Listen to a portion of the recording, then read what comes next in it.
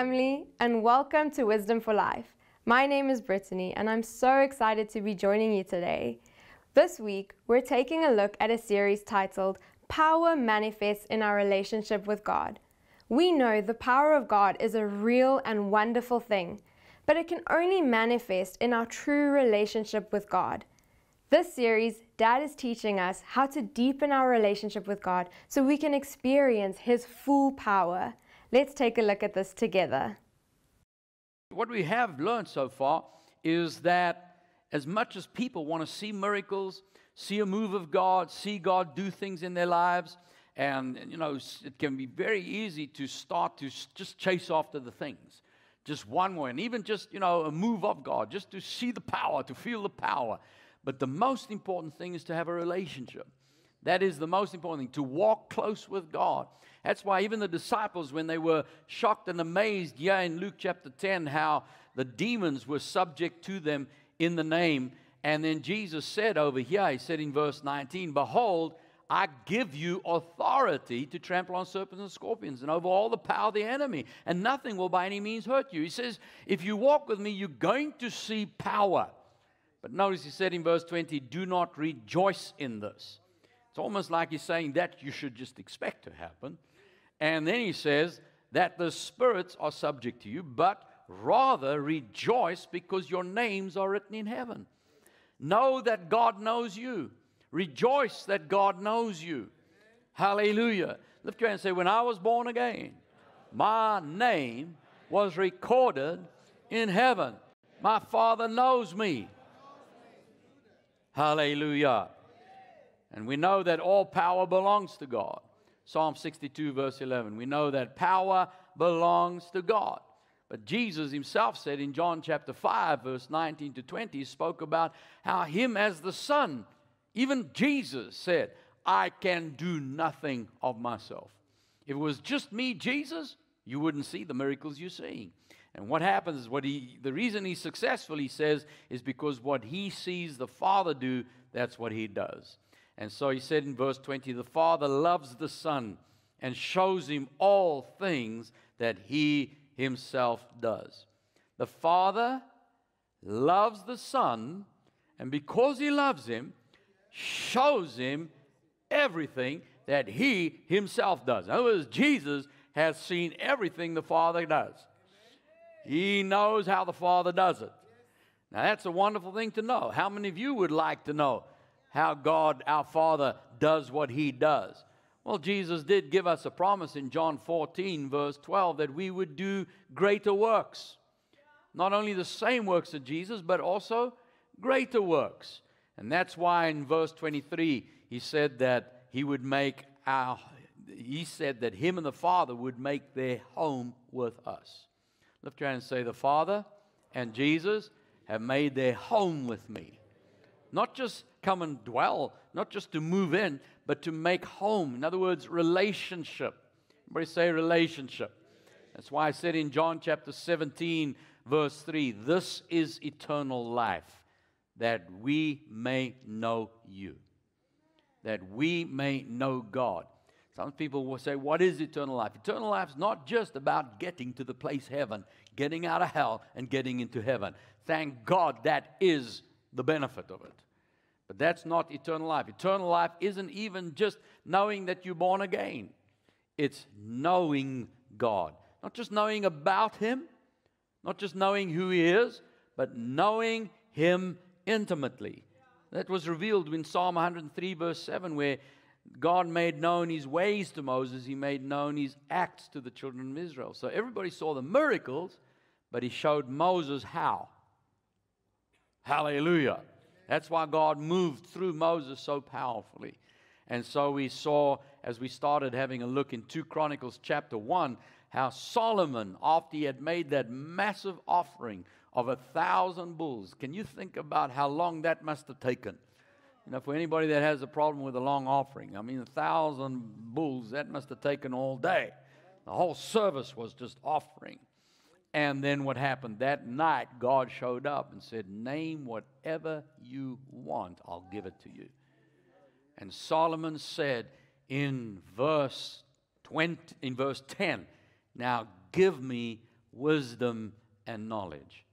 Wisdom and knowledge. Everybody say wisdom and knowledge. And God was astounded. He said, You know, you could have asked for enemy, the life of your enemies. You could have asked for gold, silver, lands. But because you've asked this thing, I will give you the wisdom. Not only that, with that, you get the land and the silver and the gold and everything else you need to have. And so when he says, Give me wisdom and knowledge, the Hebrew word used there for knowledge is the intelligence and consciousness intelligence or consciousness. In other words, give me understanding. I don't just want to know, I want to have intelligence about it. And that's what we see in Daniel chapter 1, verse 17, how God gave Daniel, Shadrach, Meshach, and Abednego, he gave them knowledge and skill, and in all literature and wisdom. He gave them knowledge and skill and wisdom. Hallelujah. So, we want to learn from this Solomon. We know that he has walked in great wisdom, and he not only did that, he recorded his wisdom in Proverbs. Proverbs chapter 1, he says in verse 1 from the Amplified, the Proverbs of Solomon, the son of David, king of Israel, that people may know skillful and godly wisdom and instruction, to discern and comprehend the words of understanding and insight. Hallelujah. So we've been given the Word of God so that we can know skillful and godly wisdom. Not just know about God, but be skillful in it. Know how to handle the Word of God. And then also to walk in instruction and discernment and comprehension of the words of understanding to understand what God means, what He says, when He says what He says. So let's go to Proverbs chapter 4. We saw in Proverbs chapter 4, he said in verse 5 that we need to get wisdom, get understanding. Verse 7, he said, Wisdom is the principal thing. Therefore, get wisdom, and in all your getting, get understanding. Wisdom is the principal thing. Wisdom is the very foundation. Hosea 4 6, my people are destroyed for lack of knowledge. You see, just having a lot of money is not going to solve your problem. I know you think it will. People think, just, if I just had another million rand, all my problems would be over. No, with, with more money comes more responsibility and greater temptations. Come on. There, it's, it's already been proven by studies. They go back and visit people who've won these massive lotteries 30 million rand, 80 million rand, ridiculous numbers. And then they go visit them a year later or two years later, five years later, and their lives are worse than they were before. They didn't have a money problem, it was a wisdom problem. See, if someone says, I have a drug problem, no, it's a wisdom problem. You can solve it if you understood what's going on here um, marriage problem. No, it's a wisdom problem. Our problem with my children. it's a wisdom problem. Wisdom is the principal thing. That's your foundation. And so he says, In all your getting, get understanding. Look at verse 8. Exalt wisdom. Wisdom will promote you, not your boss. Wisdom. Hallelujah. How many ready for promotion? You can get it, it's available from wisdom. Say, wisdom might promote you. Wisdom will promote you. You want a promotion? Tie up with wisdom. Hallelujah. Wisdom will bring you honor when you embrace her. Wisdom will place on your head an ornament of grace, a crown of glory will she deliver to you. Hear, my son, receive my sayings, and the years of your life will be many. I've taught you in the way of wisdom, I've led you in right paths. When you walk, your steps will not be hindered. When you run, you will not stumble. Take firm hold of instruction, don't let go. Keep wisdom. Wisdom is your life. Amen. Wisdom is your life. Now, notice it says here, we've learned two things.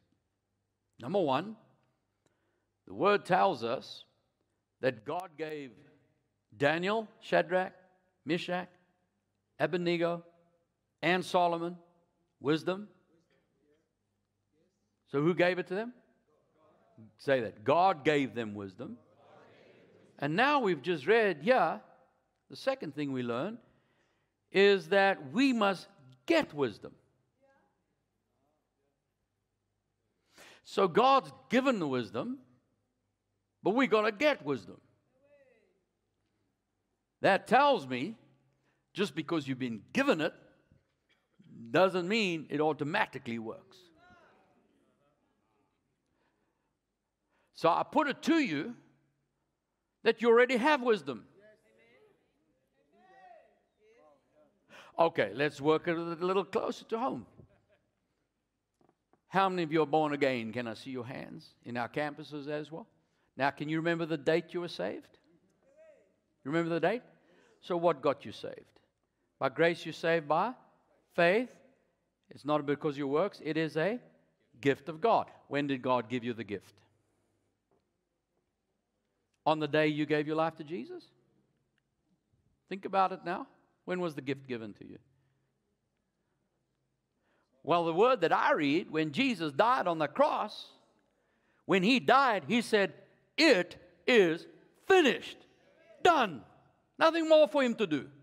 He has finished, he has paid the full price, and Paul said the same thing. He said that when Jesus rose from the dead, it is proof that all sin is paid for. Didn't he say that? Propitiation. God, God is satisfied. All death is, all sin is paid for. And then we keep studying, and we find out that was when Jesus physically died on the cross. But he was actually crucified before the foundation of the world. So before God even said, Light be, before there even was a natural world, before the first human was even put on this planet, God had already paid the price. Hello? But you only found out about it on your calendar date. And then you said, I received that.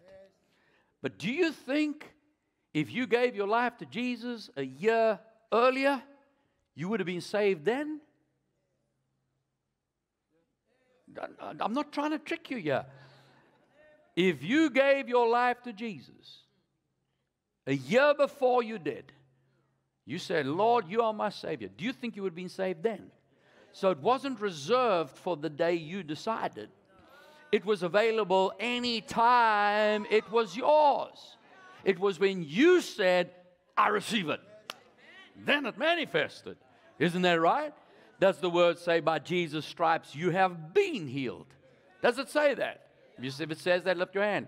Keep that hand up. Say, the word of God says, by Jesus' stripes I have been healed. If I've been healed, then I am healed. But how many only learned that after you were saved? So you've been plagued with sickness and disease and, and all kinds of symptoms and things, but then you found out later, I have already been healed. So all that time we've just been putting up with sickness, we found out, oh, hang on, I don't have to anymore.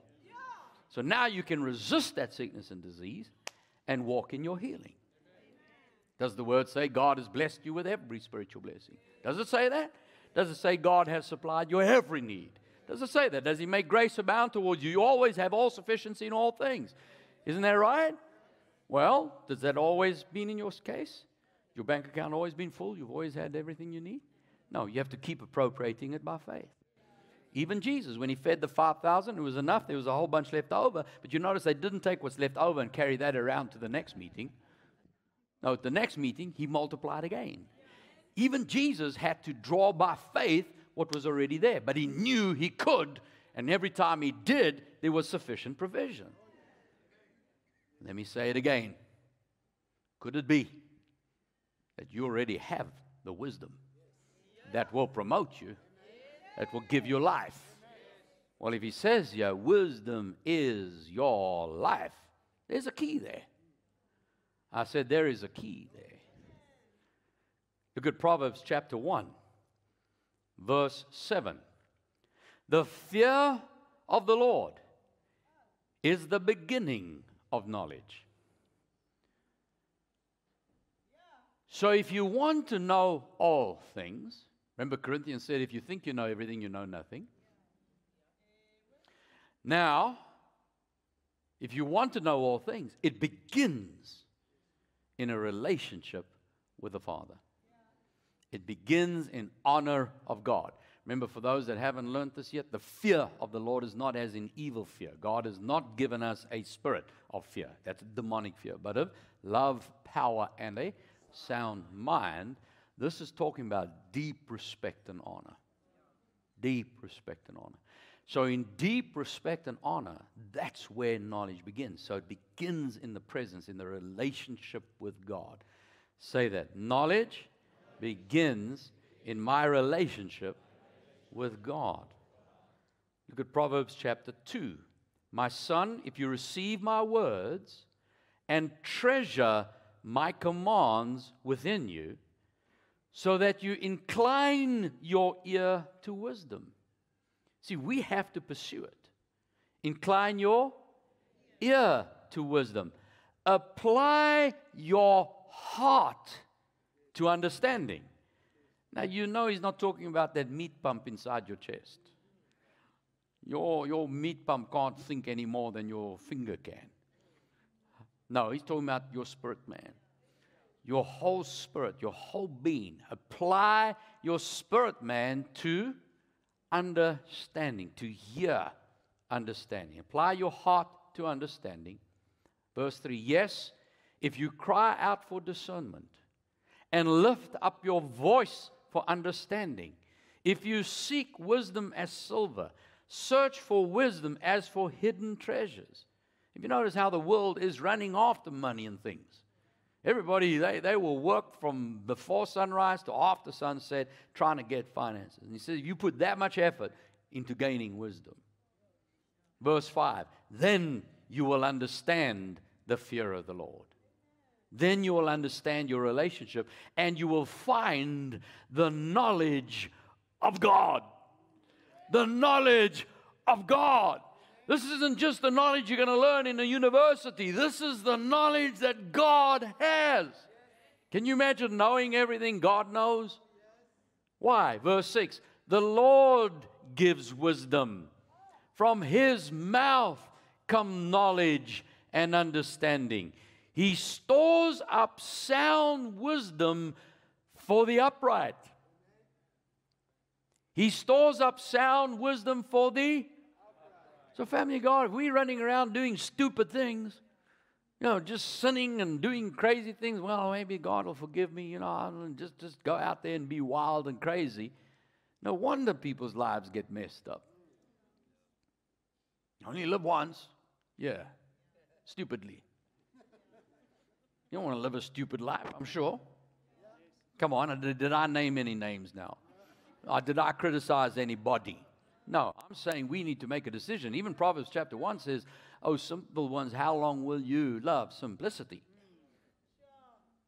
Can I put that in more easier to understand terms? Hey, stupid, how long you going to stay stupid?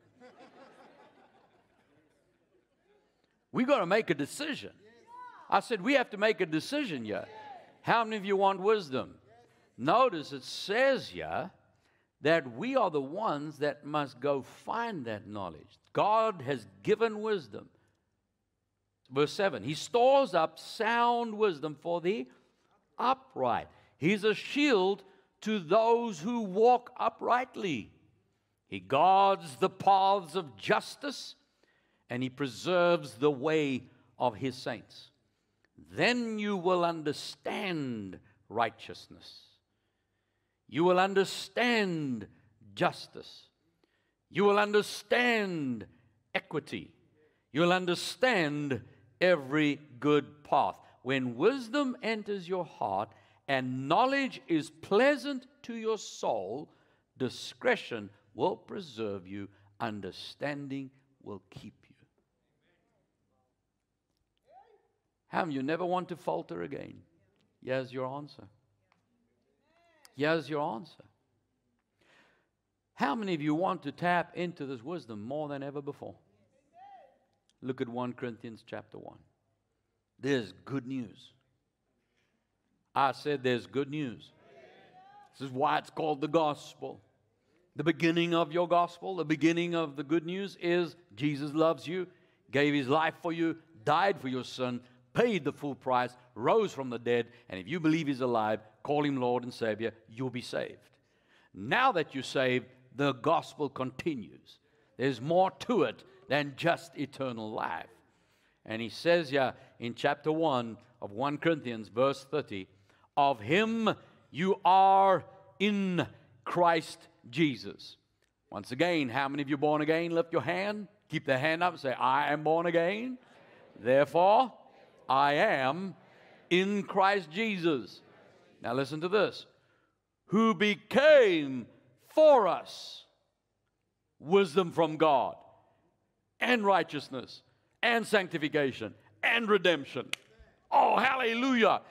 You're not excited yet? Get a hold of this. How many of you have been sanctified? How many of you have been redeemed?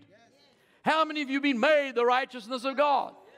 Those same people, Christ has become for you wisdom. It's not something else you have to try and get a hold of. Now I've got Jesus, now I must find wisdom. Didn't he say wisdom is your life? Didn't Jesus say, I am the way, the truth, and the life? The moment you were born again, Jesus moved into your life. He came to make his home in you. Wisdom moved in. How many of you desire to see the power of God in your life? You want to see miracles, signs, and wonders? As believers, we can all operate in the power of God. There's a demonstration power that God wants to show His presence so that people will be attracted to know who this God is. In this series, Allan Bagg shares how relationship comes before power. You will see power because of your relationship. In this series, you will learn that relationship with the Father enables Jesus to fulfill his purpose. I believe we need to renew our mind. Through relationship comes power, that power is for a purpose. Visit us online or make use of any of these details, but get hold of your series, deepen your relationship with the Father, and discover the key to seeing God's power working through your life. Jesus operated in power because of relationship with the Father. How amazing is that? Now, that is just one of the things that you could learn from this series. I really want to encourage you to get a hold of a copy of these. You can contact us at the details below and get your hands on a copy and watch your relationship with Jesus deepen even further. Now, my friend, to experience the full power of God, it begins with a relationship with Jesus. And if you have not yet accepted Jesus as your Lord and Savior, I'd like to give you the opportunity to do that right now. So let's pray this together. Dear Heavenly Father, thank you for sending your Son Jesus. I believe He died and rose again. Jesus, I ask you to come into my heart. Be my Lord and Savior. Thank you, Jesus. Amen. Amen. And congratulations, my friend. We are so excited that you have made this decision. If this was your first time making this decision, please won't you contact us at the details below. There's a free gift that Dad would like to get into your hands. There are a few tools to help you build your faith and encourage your new relationship with Jesus. So just contact us at the details below and we'll get that to you right away. Well, family, that's all we have time for today. I want to encourage you to join us again tomorrow so that we can continue learning about our relationship with God. This is Brittany, reminding you that Jesus is Lord. Life is a choice. Choose life. Visit Allan Bagg Ministries online at allanbaggministries.org you can find out more about Allan Bagg, the call of God on his life, and more about who we are as a ministry. On our website, you will also be able to connect with us by making use of our contact details. You will also find out about the heartbeat of Allan Bagg Ministries and how you can know Jesus as Lord and Savior. Hello, my friend. My name is Allan Bagg, and welcome back to Wisdom for Life. On our website, you will be able to watch our current television programs as well as catch up on any previously broadcast programs you may have missed. You will also be able to find the platforms we are broadcasting on, as well as join us for our live streamed services at the Bay Christian Family Church over the weekends and special occasions. On our website, you can find out how to get involved as a partner or even find out more information about partnering with Allan Bagg Ministries. You can also make use of our easy to use giving facilities on our website and get involved in the many projects and ways available. Through the grace of God, Allan Bagg Ministries help many to get through the challenges they face on a daily basis. And our heart is to help you in any way we can. So visit us at allanbaggministries.org and let us help you identify and succeed in what the Lord has called you to do. Allan Bagg Ministries is making the series that featured as this week's Wisdom for Life programs available to you for purchase. If you missed any of this week's programs, or if this week's Wisdom for Life programs have helped you, we encourage you to purchase the series featured on this week's Wisdom for Life programs and have them available to strengthen your faith when needed.